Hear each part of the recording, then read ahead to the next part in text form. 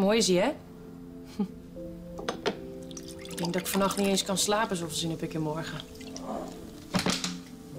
Je vader is daar heel anders in. Die ligt waarschijnlijk lekker te sleupen vannacht. Dat denk jij. Die is vast voor de tiende keer zijn schoenen aan het poetsen. Dat heb ik hem nog nooit zien doen. Geloof mij nou maar, die is net zo zenuwachtig als jij. Het is voor hem niet de eerste keer dat hij trouwt, toch? Maar dat betekent niet dat het minder bijzonder voor hem is. Hij is echt de leukste en de liefste en de mooiste man die er bestaat.